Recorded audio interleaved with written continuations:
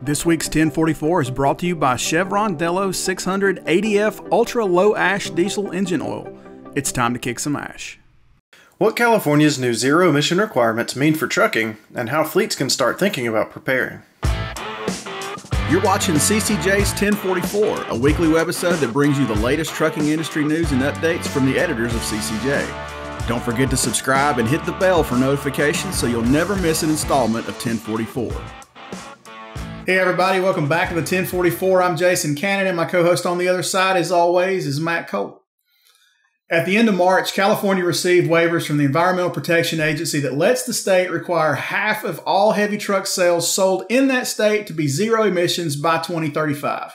On last week's 1044, we heard a lot from CalSTART on California's right to self regulate its air quality and what it means for big fleets in and around the state. But what about the impacts on trucking, particularly when it comes to small fleets and owner operators, which represent the vast majority of capacity in the industry?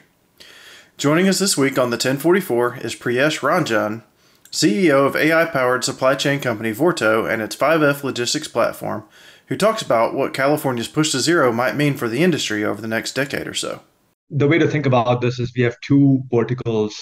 Uh, one of them is an autonomous supply chain platform where uh, basically focuses on think of a triangle. Uh, one edge of the triangle are shippers, the other edge of the triangle are suppliers of different products, and then the third edge of the triangle are uh, trucking companies, carriers who move those products. And the platform basically automates predicting the demand of the products that the shipper needs. It automatically sources it from the suppliers. Then it automatically uh, tenders it and dispatches it to the driver and it basically automates from an end to end from predicting the demand to sourcing all the way down to logistics. And that's one of our verticals. The second vertical is a freight platform where we connect owner operators. These are uh, truckers with about 20 trucks or less which is about 96% of america's trucking with shippers. And that's called 5f kind of the, the main aspect of those waivers are they're creating a transition plan where at, at a certain point when new trucks come in they have to be electric trucks everybody to go register, register their trucks now, correct? Which are diesel trucks. And then as time goes by, uh, when you're registering a new truck, it'll have to be an electric truck. Just the simplest way to understand it. Priyesh says that while the two sides of this argument are really far apart, he thinks there is a happy middle ground that can be found. I can see both sides. You know, there's one side uh, that is obviously heavily focused on driving the electrification, and then there's the other side that may find this incredibly disruptive to day-to-day business. And I think I think there is a happy medium here with regards to what's happening. And the reason for that is a lot of this conversation that is happening is in, happening in the short haul industry. So in the uh, drayage industry, in the localized uh, freight industry, and there probably is a faster path to electrification in those industries because infrastructure can be localized you know a trucker can do two three shipments a day and then charge their truck in the evenings right? So while it may seem a little disruptive while it may seem a little bit of a you know radical decision it actually it might pan out to be a productive decision. Obviously you know you always want the free market to take to to create change right? Because then all the economic incentives get lined up much better than through regulations. But i think I think there is a convergence point taking place where the readiness of electric trucks today, uh, of wherever the, the industry is, uh, the learnings that we have on how to build infrastructure, especially from the car industry, will help in the urbanized, localized areas.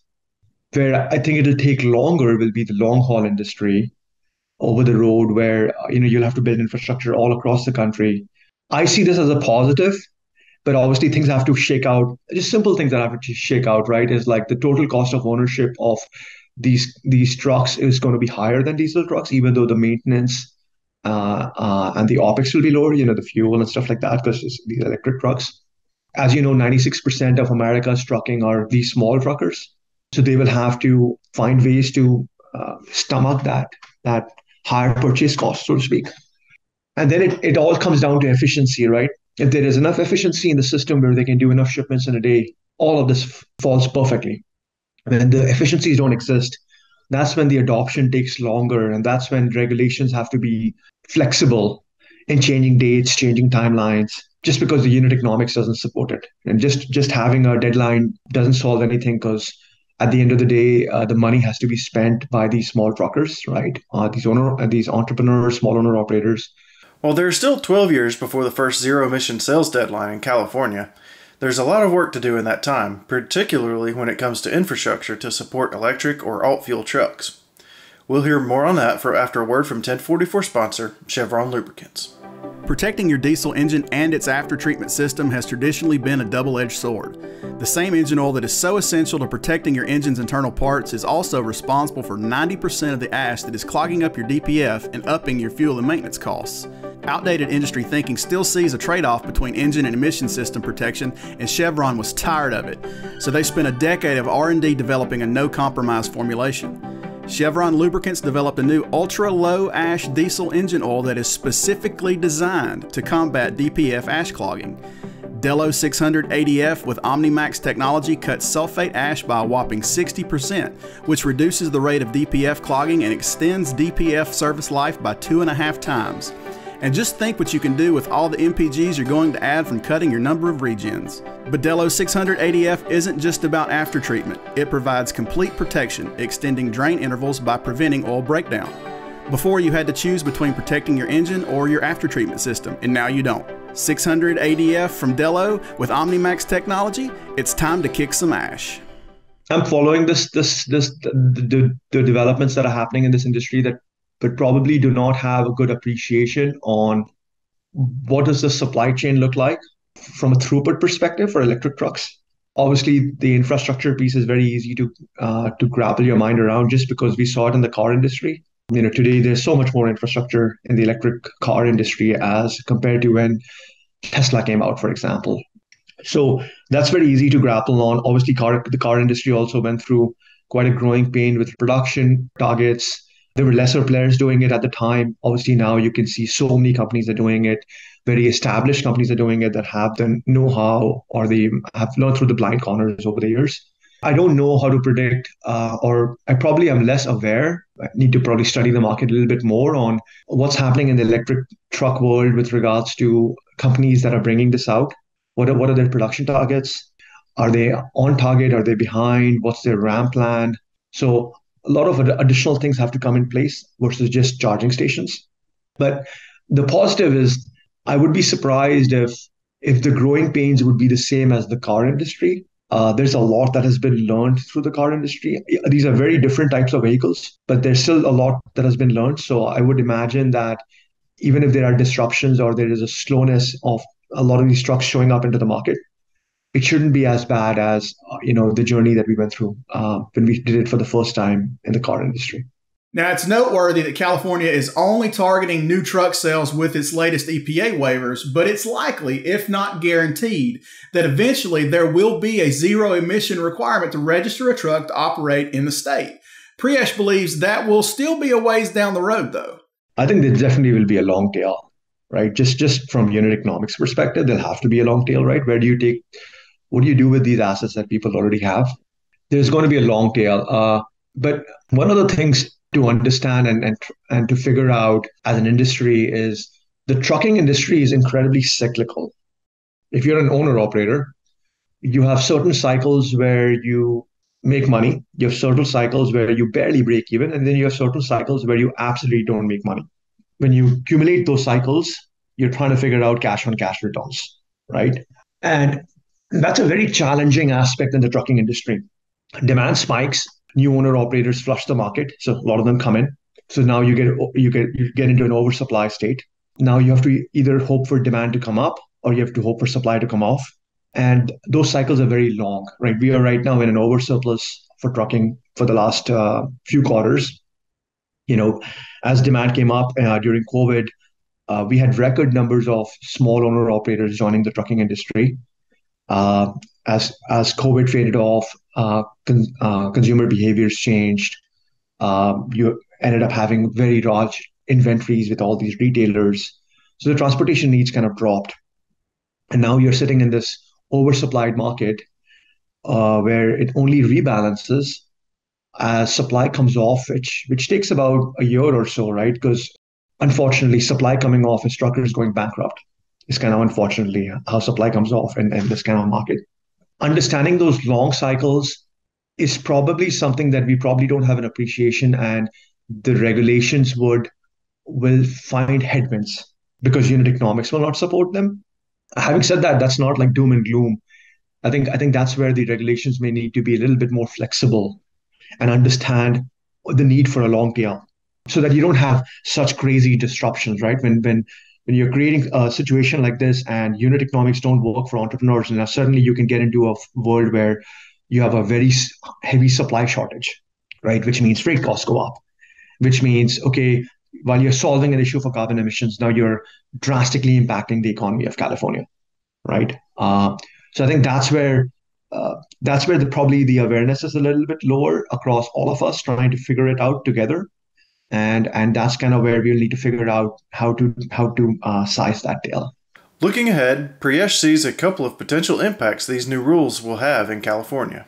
The one thing that i'll be very interested to see here is there's two impacts that that is going to create. One is either it's going to create incredible fluctuation in the freight pricing in the market because of it being a little bit of you know if, if the economic incentives don't align very well. Or it's going to be uh, what everybody's trying to achieve which is suddenly you start seeing more electric trucks and you see more electrification right? So i think you're probably going to first see some jolts in uh, supply and demand shortage right? Uh, more supply shortage so to speak right? You will see some flexibility in regulations of like okay this is this is having consequences that are not worth bearing and then and that pivot will have to happen right that flexibility of okay let's go move it this way. Let's go create a regulation that works in this manner. But you would only understand those things once you get into it. You can make all these assumptions that you want to make right now but as the dates hit the reality hits uh, you learn more that you probably didn't assume.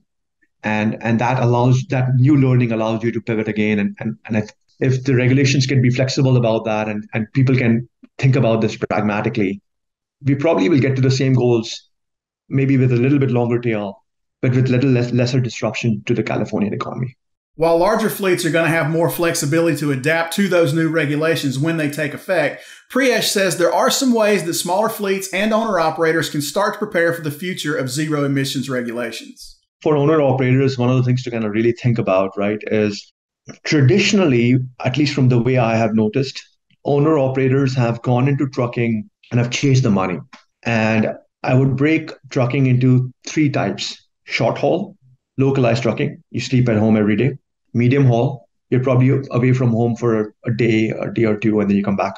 Long haul, you're away for about two weeks, uh, 10 days, to two weeks. And whenever you start you start getting into this world where you need to have a diversified fleet of diesel trucks, of electric trucks, of of uh, more expensive diesel trucks, you know, with the regulations on tailpipe and stuff like that, right? It's very important to really start thinking of a diversified portfolio of where where to work and start understanding the unit economics of okay, if I had an elect- I had a few electric trucks, where would I which markets would I put that in? Would I put that in long haul, short haul, medium haul? If I would go into short haul, which markets would I go into?